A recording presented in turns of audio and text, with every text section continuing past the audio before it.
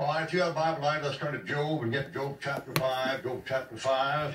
We'll talk a while about verse 7. Job chapter 5, verse 7. My subject tonight is trouble in the Christian. Trouble in the Christian. On Job chapter 5, verse 7, Job uh, says something very profound there, and a lot of things said profound in the book of Job. The book of Job has some great statements in it. And that passage there in the book of Job, chapter 5, verse 7, he asks a question, or makes a statement. He makes a statement about man. And he says about man, one of the things about man is man is born into trouble as the sparks fly upward. The idea is when you light a fire, and if you've ever lit a fire, lit a fire, you know what goes on. You light a fire, the sparks go up the chimney, and the smoke goes up the chimney. That is a natural thing for it to do. The most natural thing in the world is for the sparks to fly upward. And man is born to trouble just like that. When man comes in, when man is born, when you're born, you come into a, a conflagration that's taking you up the chimney just like that. You just rise with it, boy. I mean, smoke and, and, and sparks and, and embers and stuff. Man is born into trouble as the sparks fly. But a great truth. Uh, Nebuchadnezzar, when he built the wall of Babylon, they said that every every brick in the wall of Babylon had the letter N in it. He was a nice, uh, nice, humble fellow. And so all those bricks in that wall of Babylon, the several million, had the, his initial inscribed on the on the brick, and you know, living living stone, you know. Well, I would tell you, if there was ever a, a letter that could, could be inscribed on a Christian uh, to show he's a living stone and part of the household of God, it'd be the letter T. That's the letter. Christ said, while you're in the world, you'll have tribulation. See, be of good cheer, overcome the world. Uh, when you ever meet a man, if you ever meet a man over oh, uh, 18 years old, has never had any trouble, I want to meet him. I want to meet him. I want to meet one human being over 15 that's never had any trouble. I never met one in my life. And if you're saved, you're going to have problems. Uh, people think, well, when I get saved, all my problems are going to be ended. No, many times your problems just start when you get saved. And I'm going to talk about some of those problems. Now, first of all, when I talk about trouble, when I talk about trouble, I'm going to talk about difficulties, disappointments, problems, sorrows, pain, fear, these things that come up and hit us. And the first of these are simply problems. What are problems for? Problems are given to make us think. You see these signs around, think, think, think. Folks are stupid, you have to remind them of it. And think, you know, think. One time, a little boy out in the ice floe up there in some state up new, uh, up north in the winter. Little boy had a brand new pair of skates. And he's going out there and he'd, uh, now mind my suits out of press. I've I've been walking out there in the rain. And some folks, they worry more about the press in your suit now the message. Honest to God, Christians. I got a letter from well one time on television. He said, how come you never have a decent haircut? and he said, you're wearing these uh, jackets with pants that don't match, you know. And you're wrong on this, not worry about it. I said, listen, I don't know who you are. If anybody's worried about what a man wears on television, there's something wrong with his jeans. and he never wrote back.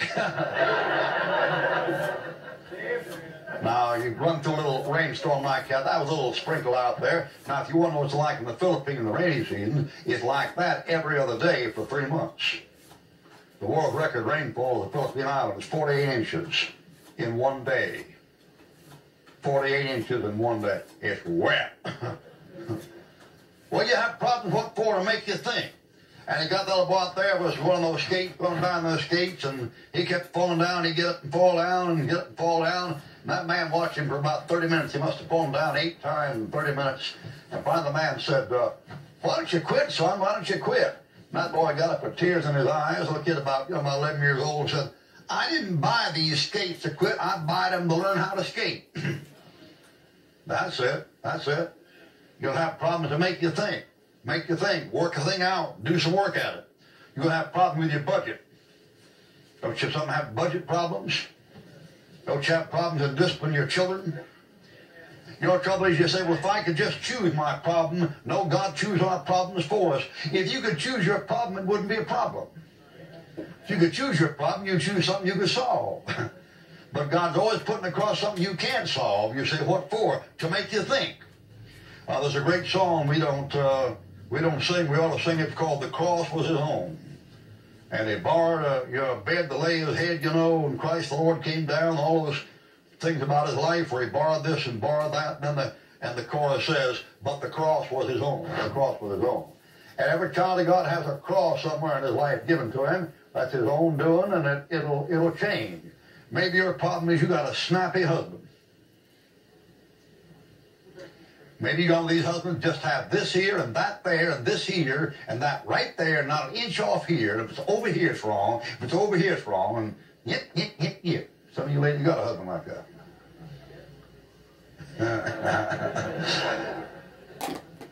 Let me hear an amen, ladies. you can identify yourself sitting right next to him. and then some of you got a griping wife. and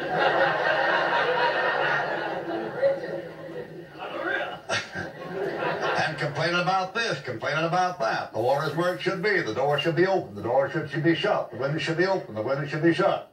All the covers on one side of the bed, you know. The radio should be off here now. Oh, yeah, man. Oh, yeah. I mean, one of the greatest things you discover in your marriage is that you married a person instead of a, a, a male or a female.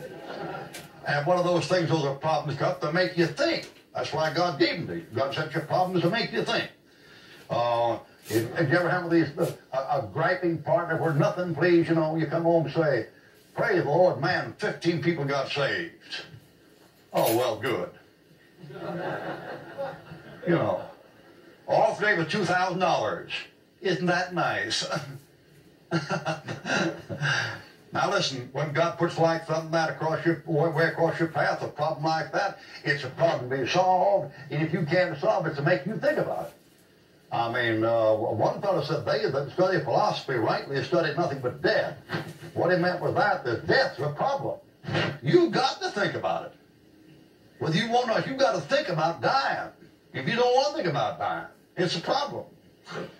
Problems sent to make you think. All right, next, difficulties are sent.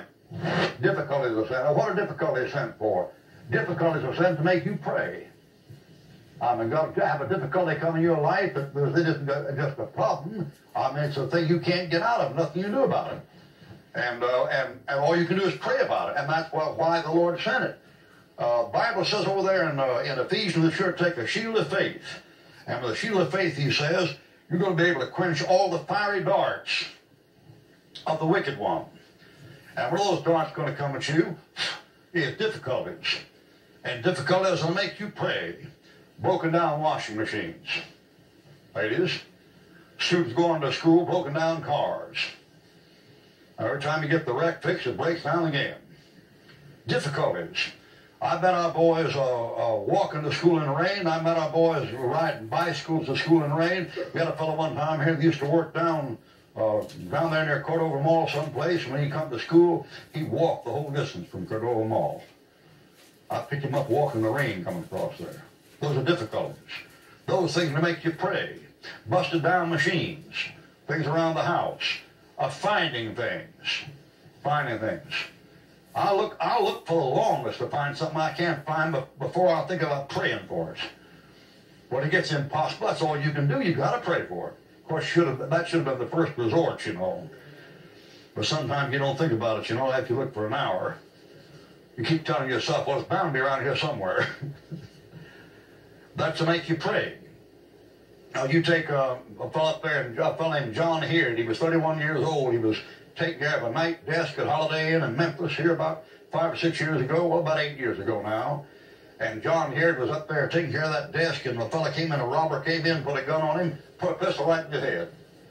And said, get up, open the cash register there and give me the money.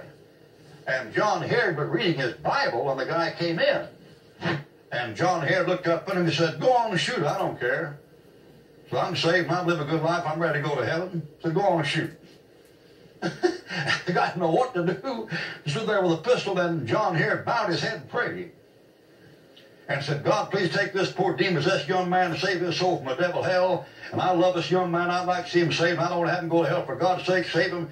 That guy was standing there, shaking the pistol, sweat off his face, and he'd be able to say, What am I going to do? What am I going to do? And old, old John here got through praying, he said, You're going to get saved. That's what you're going to do. And the guy put on his gun and sat down the table and led him to Christ. and took his shell out of his gun, gave him the shells, and traded them off for a Bible, walked out the door with a Gideon Bible.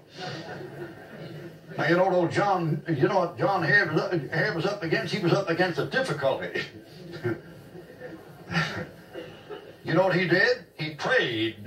He prayed. Difficulty and problems. Back here, somebody's trying to prevent this Christian soldier from uh, attacking a certain place or reaching a certain objective. They put a wall of fire around him here. So he can't get up off of this opposite bank and made him way down through some muck here and through a stream through here, knee deep in water to obtain his objective. And the idea here is the Christian beset with trouble. And you're in this world, you're going to have tribulation. And Christ said, Be good cheer, I've overcome the world. Up there in Newfoundland, the way back around 1870, the fishing fleet went out one time. And when they started back, uh, tremendous fog came in. The whole fleet was lost at sea. Of fishing ships, about 15 of them. And there were mothers and sweethearts and relatives and going up down the shore and wringing their hands and praying, you know. And, and there wasn't any way they could see the lighthouse, the way entrance to the harbor. They lost the way they entered the harbor. Nobody could tell where they were going or what they were doing. And the, there were families up there crying and weeping and wailing and playing on that shoreline. And to make matters worse, in the middle of that dense fog, a cottage up there on the shore of Newfoundland caught on fire and burned to the ground. And that thing was burning to the ground. One woman, the woman there whose cottage it was, was talking to her husband down the beach and complaining and wringing her hands and said, Oh God, how could he do this? How could God do this thing to us with all the trouble we've got like that, with all the sun out here at sea? How could God do a thing like that? And boy, about an hour later, the whole fleet just came right through the fog and came into the harbor. And they said, I said, how'd you do it? They said, four of our ships saw your light up on the shore, and four of our ships headed for the light. We followed the four ships, and the whole fleet came in. What was the light? A cottage burned to the ground. Now that difficulty was sent to make people pray. And they were praying. When they prayed, up go the cottage and, cottage in flame, but the salvation of the scores. Difficulties are sent to you to make you pray. That isn't all. That isn't all criticism. What's criticism for? God will send you criticism to make you examine yourself. And you, sometimes you get kind of a false idea about yourself. And sometimes it takes criticism to make the thing come out. A good rule you want to remember about yourself is don't ever believe everything bad everybody says about you. Don't ever believe it. And by the same token, don't believe everything good everybody says about you. You want to get a balance. You want to get a balance there. Paul, the greatest Christian that ever lived, says, In my flesh dwelleth no good thing. So he wasn't any, he wasn't stuck on himself. He knew himself. But the same token, he said, uh, uh, the Lord made me an apostle to the Gentiles, I'd magnify my office. And he said, and, and, and made the Gentiles obedient in word and deed. Uh, not I, but the grace of God that worked in me. He understood the thing. But people are going to criticize you, and they're going to find fault with you. And uh, if, if, you, if you're going to quit every time you hear criticism, you might as well just quit at the start and never do anything. Because that's one of the things that comes to everybody. It's a strange thing how God's people seem to faint at stuff that unsaved people can get through. Uh, boy, do you realize what it takes to be president of the United States or mayor or governor? The, the mud you have thrown at you these days? You realize what Barry Goldwater and some of those fellows went through to try to get into office? And, uh, and, and George Wallace and some of those fellows? And Jesse Helms? Why, Jesse Helms, every faggot and every Frisco fairy fruit from here to New York and to Frisco was trying to control the elections in North Carolina. Really? Really? All the newspapers, all the a bunch of sex perverts demonstrating in San Francisco about North Carolina. What business, what's going on in North Carolina? Well, they're criticizing the old boy. You know what they call Jesse Helms in Congress? They call him Attila the Hun. and they call him Attila the Hun because he just takes a straight line just plows through. Now, if you can't take criticism, then you better get ready, better, you better get ready to be a dropout. Because if you can't take criticism, you can't take anything. You know what Paul said one time? Paul said, uh, he said, you take that shield of faith wherewith you, wherewith you should be able to quench all the fiery darts of the wicked one. Those fiery darts were, that was napalm. Napalm, that's the, that was the original thing, part of it. Was a, an arrow, and it had cotton tied on it right there. And then with the cotton tied right there, that guy would fire that thing, and that thing would come at you like that. And that thing was a flaming arrow, what that thing was. He said, wherever you should be able to, to, to quench all the fiery darts the wicked one. It's done to make you examine yourself. I mean, uh, did you ever see how those Pharisees lit into Jesus Christ? Boy, they went after him like a pack of rabid dogs. Found fault with him, he didn't wash his hands before he sat down to eat. How come this man breaks the Sabbath? What's this fellow doing to say he can forgive sin? He Can God only forgive sins? Blasphemy, blasphemy. He casts out uh, devils by the prince of devils. He's Beelzebub. If Jesus Christ didn't escape it, my God, people, how can you escape? We got a whole nation of thin-skinned sissies, and most most of them are Christian these days, and they're sitting there, they're sitting there even preaching like mine. They get upset because you take it personally. I hope you do take it personally. The personal, the better. Well, I just don't like people talking about that way. Then get, go back in the crib and suck your bottle and suck your thumb and quit trying to put on a show, okay? Get out of the traffic before you get killed. If you can't take something like that, you can't take what's out there. They're going to get on you. They're going to eat you alive. And the person, the pur- purpose of that is make you examine yourself, to make you careful. It makes you give, give you an accurate estimate of what you actually are. You're going to have to go through something and there's no way to get around it. How many brush strokes does it take to paint a picture? I don't know. Right back there in that bathroom, there's one back there, that thing's about 12 feet high and about uh, 9 feet wide. I just finished a painting downtown, 8 by 16. And I'd say uh, conservatively on that thing, uh, conservatively, I'd say uh, 400,000 conservatively. Two, three, four, 6, 8, 10, 12, 14, 16, 18, 20, 22, 24. Right, wrong color, paint it. 24, 26, 28, 30, 32, 34, 36, about 400,000. I don't know how much it takes to make a sculptor. I'm no kind of a sculptor. I never sculpt nothing. I couldn't sculpt anything. But uh, I, I bet you and a fellow sculptors, I bet he doesn't get that thing done. A, a statue, you know, eight or nine feet high, I bet he get, doesn't get it done without hitting that thing about uh, 40,000 times and chipping away at that thing. That's what criticism is for. Criticism will, will make you into something. It, you're not going to be made anything. The tree that never had to fight for sun and sky and air and light, that stood out in the open air and always got its share of rain, never became a forest king, but lived and died a scrubby thing. The man who never had to toil to heaven for the common soil, who never had to win his share of sun and sky and light and air, never became a manly man but lived and died as he began. Good timber does not grow in ease. The stronger the wind, the tougher the trees. The farther the sky, the greater the length. The more the storm, the more the strength.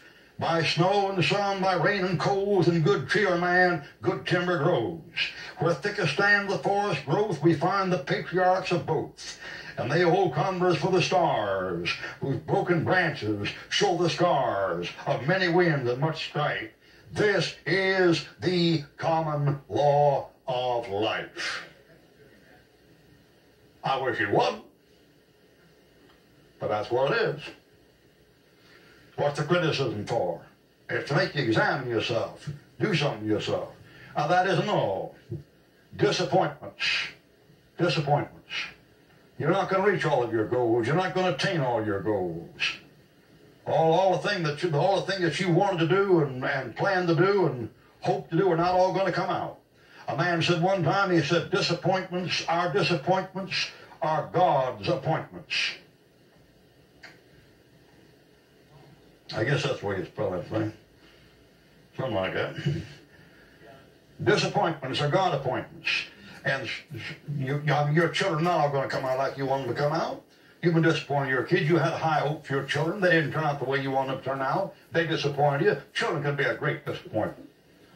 And as far as that goes, parents can be a great disappointment. As far as that goes, a lot of things can be disappointments. All kinds of things go wrong. Is your place a small place? Tend it with care. He set you there.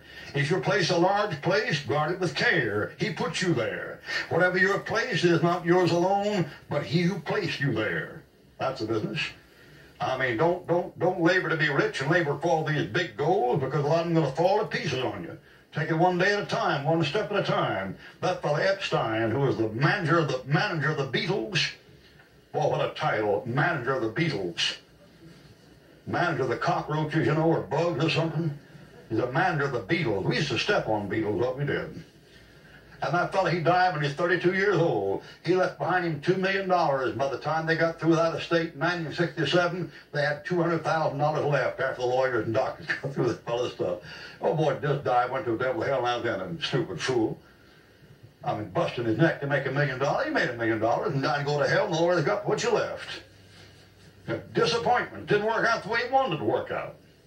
Worst disappointment this world be wind up in hell after making a trip going through life like that some Christians, uh, instead of singing Land Me Safe on Canaan Shore, they're singing Land My Safe on Canaan Shore. and it's no use to work yourself to death and thing like that. You may not make it. You may not make it. Quench all the fiery darts of the wicked one. Disappointment is his appointment. One time over in Georgia, a pastor they had a fellow in his church, a fine fellow, a, a peach grower, had one of those big uh, peach orchards like they have over in Georgia. And boy, one uh, winter, uh, uh, a frost came in there and killed his whole crop. I mean, a couple of hundred acres of peaches. And after that, that fellow didn't come back to church for about four months. And the pastor went by to see him. The pastor said to him, he said, how come you quit coming to church? He said, uh, well, I quit coming, I'm not going to be coming back. He said, why not? He said, I cannot worship a God that will do to my peaches what God did to my peaches. he said, why, God control the weather, why did he tear up my peach crop like that and destroy my peach crop? And what that preacher told him? He said, God isn't interested in peaches, he's interested in men. And God is interested in growing peaches. God loves you more than he loves peaches. He cares more about you than he does about uh, peaches.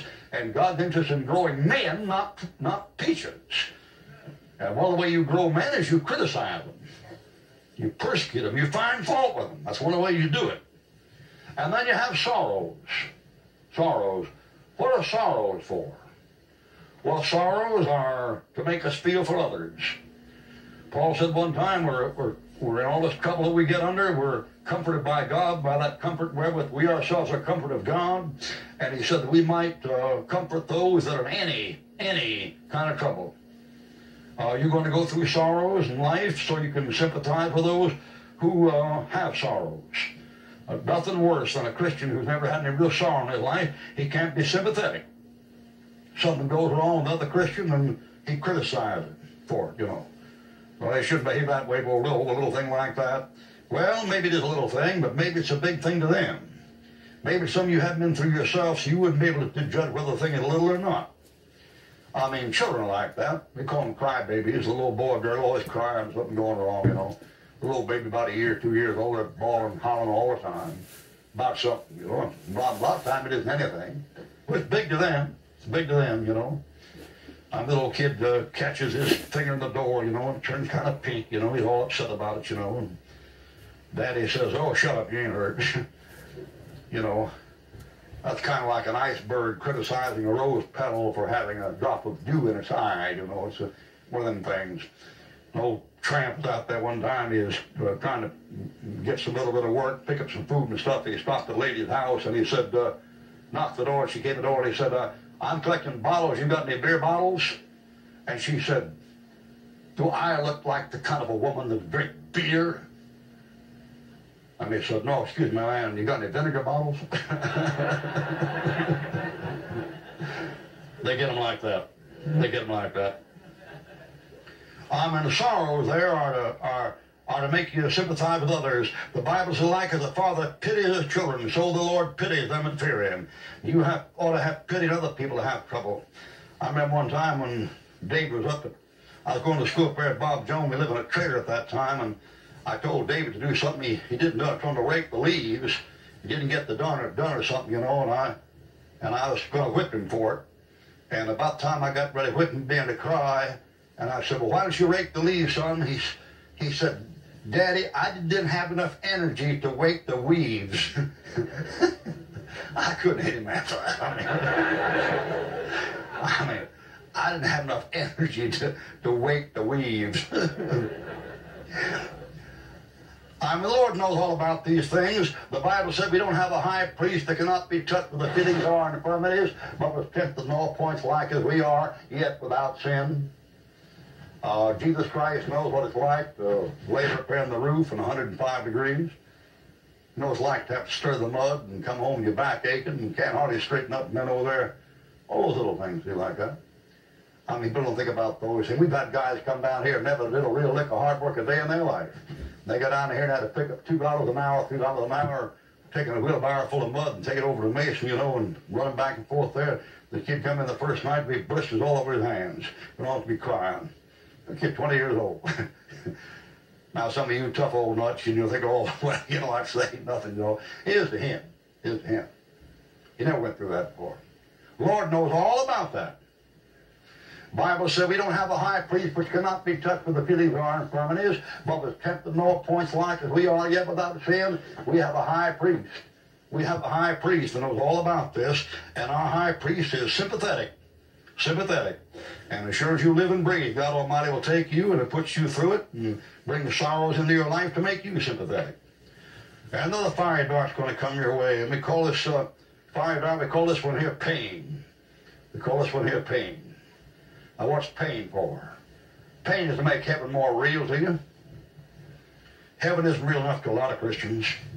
I know a lot of Christians. I go up and down this country all year round and preach, you know that, and I preach to all kinds of congregations. And you know what's wrong with most congregations in America today? They have no sense of the afterlife. They have no sense of heaven. They have no sense of hell. They're secular. They're secular. They're all sitting there either waiting to get offended or sitting there have you, have you make them feel good. Right.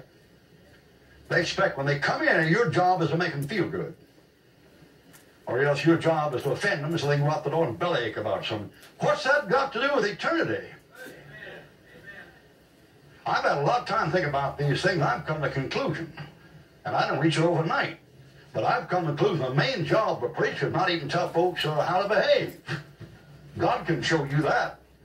I mean, you can find out. If you want to know what things right or wrong, you don't have to come to me about it. If you want to know about they can be right or wrong morally, well, you got to go home and get in the closet and the Lord will straighten you out real quick on it. You say, what are preachers for? I know what preachers are for. I know why God called preachers. God called preachers to remind people over and over again that this life here is not all there is to it and make you think about eternity when you don't want to think about eternity. Yeah. That's what it's for. Just keep jabbing you with it. Well, you preaching, you're talking about pie in the sky by and by. Yes, sir, baby. Yes, sir. Yes, sir. You bet your booties. You ain't going to get it here. the dessert comes at the end of the meal and not here. And that's what the preacher's job is for, is to remind you of that, remind you of that, remind you of that. And preachers in America, they are not doing that. They've got this family-oriented stuff with this talking about uh, how to let your wife run the family so it doesn't break up and that kind of stuff and all people are sitting around, you know, expecting a great uh, sauce or pudding to pour over their souls and give them comfort so they can rest comfortably. That is what the ministry is about. It's not about that. You take pain, pain will come to you. What for? Well, it'll come to you to make you homesick for heaven. I had a fellow, a friend of mine died here a couple of weeks back. His name was Blue Denham. Oh, that wasn't his real name. His first name, Carl. He was Carl Denham was his name. We call him Blue Denham. He's about six feet uh, five, big old rough, raw, bony, hillbilly redneck type of fella. They call him in the bars, they call him the Kansas City Kid. I don't know why they call him that. they call him, he wasn't no more than even if went within 500 miles of Kansas City. But they call him the Kansas City Kid. And when he get in the fight in these bars, he had one move he always made. He had about six feet, or maybe about six feet three, I guess he was, and must have weighed about, oh, about uh, 190 pounds, just skinny as a rail. And the one move he always made was he'd come up with that big old long foot and kick, and he could kick seven feet in the air. And he'd do a lot of get a lot of trouble with the police that way. but he died, and I remember right before he died, his daddy died. And uh, I was around the hospital when he talking to his daddy before his daddy died, and his daddy was lying there in the bed, he was saved, and his daddy was praying. And his daddy said, Oh Lord, please take me home. Please take me home. Oh God, I want to go home. I've suffered so much. I wish you'd please take me home pain. What for? Make you make you conscious of something else, boy. ain't all down here. It's up there. God will do that to you. God let that thing happen to you. When we cease to bleed, we cease to bless. One of the great writers of uh, poems was a, a, dear old saint named, uh, I think her name was Nicholson, something like that. I collected poems. I guess she's been dead now for years, she wrote this one time Christ of the sick room, bending low, touching the fevered, aching brow, smoothing the lines of care away, easing the pain of a long, long day, whispering hope and faith and cheer. Christ of the sick room, tender and dear, knowing that sometimes I cry aloud my pain. Is not I, but the tortured flesh that is crying out, knowing too that it is not, no doubt, when I call to him, Where are you, Lord? Then he comes with his blessed word, Lo, I am here, not afraid, every pang is measured and weighed, not a feather's weight more is given to thee, and thou shalt have strength to bear through me. Christ of the hospital, when at last the pain of my broken body is past, and I see him crowned in glory and power. Can my heart forget one sacred hour? Perhaps I shall think as I kneel at his feet, is this kingly one really any more sweet than the tender Christ I came to know? Christ of my sick bed down below. That lady was a chronic invalid for 45 years. 45 years. And she, said, when I get home to glory, she said, when I get home to glory and meet Jesus Christ the King, will I think that he's any better than the one that took care of me when I was down there in that bed? Now listen, that woman wasn't family oriented, she was heaven oriented.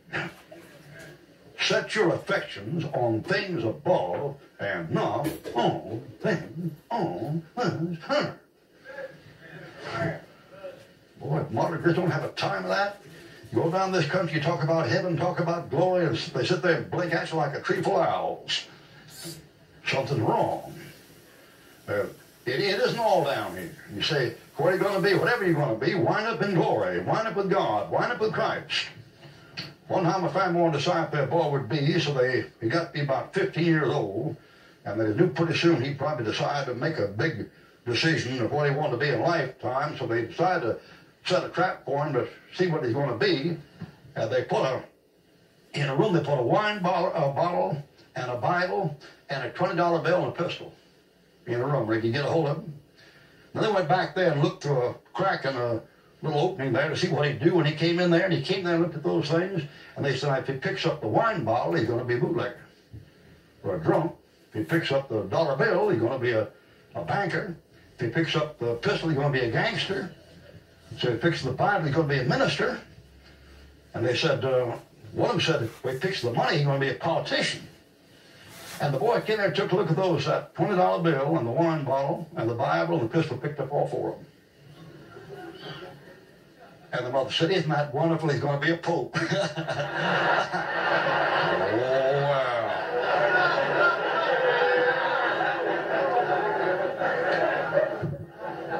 Oh, yeah, brother.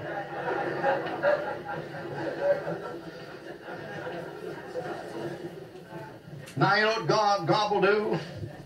He'll send you another kind of trouble. We call this trouble here, we call this trouble simply, here we'll call this one fear. What does God send fear for? God sends fear to keep you from sin. The fear of the Lord is the beginning of wisdom. Fear of the Lord and depart from evil. One things God does will send you fear, make you scared at times, and do that to keep you from sinning, from doing wrong.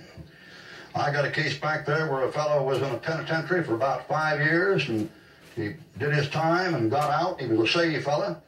And he got saved, he got in there, witnessed all the time he was in prison, and didn't get much results, got a few of them, and finally in his time and got out after five years, and he had got out of five years, and after he'd been, been in there and got out after five years, he hadn't got home more than a couple of days and got a letter from a cellmate he'd been with at times, and the cellmate wrote him and said, I just want to have you know something. Mm. He said, I got saved when you left the prison. The day you left, went out the gate, I got saved. And he said, I know you talked to me about my soul before. And he said, I never listened. He said, we were watching you. And he said, you know something, my, my buddies watched you for five years, and you never slipped one time. Now, wouldn't that rattle your day? Wouldn't you think about what you've done then and thought to yourself, well, suppose I had? You see? God Almighty sends fear, us fear to keep us out of trouble. Keep us out of the way. Keep things right. Over there overseas in India, a Hindu employer who hired British people for his to work with him, and American people sometimes had a surefire way of getting the right kind of people. One day an American said to me, he said, how is it that your staff works so good you don't have all the trouble these other industrial men have here in India with your employees. They seem to have a lot of trouble with the foreign employees, British and Americans. You don't see have a trouble. You have some special way of choosing or setting up standards or requirements for them? He said, yes, we do. He said, what's that? He said, well, he said, when somebody comes here and wants a job from a foreign country and brings their uh, uh, stuff with them and their valise and their satchel and everything, he said, we put them up in this hotel overnight. So we put them in there for a week.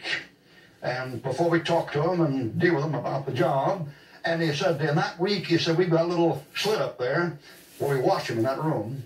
And he said, we always put your Bible right on the table in that room. We watch that fellow, he comes in there. And if in a week he doesn't fool with that Bible, or puts it up, or doesn't look at it, or puts it away, we don't hire him. And he said, if you read that thing, you look at it and study it, we hire him. You don't fool them people, boy. You don't fool them people. I mean, you do that when you go to a hotel and motel room? Fear. Fear. What for? To keep you from sin. Now, these problems come to the child of God, you won't have these problems as long as you live. You know the scriptures. The scriptures say, fight the good fight of faith. This fellow's surrounded with problems and troubles and disappointments and criticism and he's taught still fight the good fight of faith, lay hold on eternal life. Years ago, I think it was about 1967, a fellow named Robert Gauchie, I guess that's how you pronounce it, G-A-U-C-H-E, something like that. And he was up in Canada, and he was up there a, what they call a beaver, some kind of a plane. I don't know, I wouldn't know a beaver from a muskrat when plane come in, but it was a beaver, what's called a beaver. And he got, uh, he had motor failure and came down in a frozen lake. And he came down that frozen lake and he's, what he, he had a communication system called a SARA. They call it a SARA. I don't know what that is. That's some kind of shortwave something or other. We're staying in contact with the Royal Canadian Air Force or something. And he lost contact with the Air Force and couldn't get any help. And in 16 days, his ration gave out. And he drained all the fuel out of his uh, gas tank and lit fires out there and tried to get some help. And a couple of times, plane went by and pretty soon they began to miss him after 16 days and began to send out flights to get him. And Albatross flew over and DC-7 and didn't get him. And after 16 days, the food gave out. They Began to get frostbit. By the way, if they finally rescued him, he had to have five toes amputated. And he out there and he ate 40 pounds of raw fish the next day. 52 days out there. 30 below zero, 40 below zero. And they missed his flares and couldn't get him. He had a Christian wife at home. And she began to pray. And she prayed and prayed, and they sat out there and flew and flew and flew and covered about 25,000 uh, acres there flying around trying to find that fella and couldn't find him and couldn't find him and couldn't find him. Missed the flares. And finally, the last day they said, decided they looked for one more day and then call the search off and give him up. And that day they were supposed to go out at 2.30 and search till 4.30 and something went wrong with the airplane. They got delayed. They couldn't get off the ground at 2.30. Matter of fact, they didn't get off the ground 4. They were still flying around 6 o'clock at night and heading back home where they came from. And coming back there, one fellow banked his plane down and saw a reflection down there on that lake. And it was the, that old Arctic midnight sun shining down, hitting the wing of that plane and up there, it never rise high enough to reflect off the wing of that plane. And at that minute, at about 6 o'clock, it just happened to hit it. And down they came and got him. Took him back, five toes amputated, got out alive. Now, what was his wife doing? She's having problems. And she's having difficulties. And she was praying. Now, old boy down there, he had problems. And he had difficulty, and he had sorrow, and he had disappointment. He had pain all in one shot. And God got him out. God got him out. Trouble the Christian. Those things are for our education. The Bible says, bring up your children in the nurture and admonition of the Lord. That's the nurture. That's the nurture for the child of God. Well, let's go to the Lord in prayer. Uh, Father, we pray the Holy Spirit of God might bless the message tonight. And Christian here tonight with problems and disappointments and trials and testings and, and difficulties and, and fear and pain, the other thing you sent their way, be able to handle them and know why they have to handle them. May they learn from them by the grace of God. Lord, I know I've said some things very easy to say from the pulpit. And I know put in practice these things are very difficult. And I pray the Holy Spirit of God would undertake. And I pray especially for every Christian here tonight that's going through some real testing, real time of tribulation and trouble. And I know there's some here that in such position. And Lord, the only thing we ask is uh, not to lose a sense of your presence. The only thing we ask is your your smile. Lord, we can take anything with your smile. We can take nothing with your frown. Nothing. The least thing becomes an irritation or a trouble and an insurmountable problem, an obstacle without your blessing upon it. Now, your blessing is real and your presence is real and the prayers answered, we can get through some way. But not without you. Not without you. We confess our weakness tonight and our helplessness in the face of some of these things. And Father, I pray there's any unsaved person in this building tonight, you'll wake them up and shake them up before they blow up, before it's too late. And they, I, I step out there enter a place where there's no end to the fear, there's no end to the pain, and there's no end to the disappointment, there's no end to the sorrow, there's no end to the suffering. And eternity is just one unsolvable problem. Uh, hell, hellish, damnable. I pray might save tonight the souls nearest hell tonight. You know where they are. Maybe some of you are going to die in 1994, 1995. And I pray the Spirit be them now about this matter of salvation. And let's may the head bowed and eyes closed in prayer a few minutes. In a moment, we're going to sing this hymn by playing. If you're a Christian here tonight and haven't really got down to business with God, I know some of you have. I know you've done your praying and you've done your homework. I know that. But some of you haven't. Some of you haven't. Some of you still a point of controversy between you and the Lord in your prayer life, you haven't got to that place yet where you're going to say, okay, no matter what, no matter what, I'm going to do what you want me to do. No matter what, I'm going to follow you. No matter what, I'm going to obey your will. We're in prayer, some here at the altar already, maybe others ought to come, but while we're in prayer, I wonder, is anybody here tonight that's never been saved? You never put your faith in the finished work of Jesus Christ. In that Bible, your eternity is not New Jerusalem. Your eternity is a place where the fire doesn't stop. It's not quenched. And there'll be no end to your problems. They're eternal. You're going to the madhouse of the universe. You're going because you trust your righteousness instead of God's righteousness. Would you come tonight by faith and accept Christ your Savior? Would you do that? Right now, while we're tired, just stop and step out of your seat and come right now. Anyone in the building, anybody. If you receive Christ your Savior, step out and come. Come right now. Anywhere in the building. Whosoever will, let him come. Taking the water of life, really. Come on, come on. We get sing, we're going to sing about two stanzas. We're going to close. The gospel's clear. Christ died for sinners rose from the dead. Getting saved won't solve all your problems here. It'll sure solve them forever.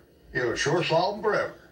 And that isn't all. Jesus Christ will give you strength and help now that you couldn't get as an unsaved man. Some of you Christians sitting here tonight feel so sorry for yourself for the mess you're in. Did you ever stop and think what it would be like to be in that mess and then hell on top of that? Like thousands thousand Pensacola? You could be in the mess you're in tonight and not even be saved. You could be in the mess you're in tonight and not even have a prayer answering God or a Christian friend. God been good to you.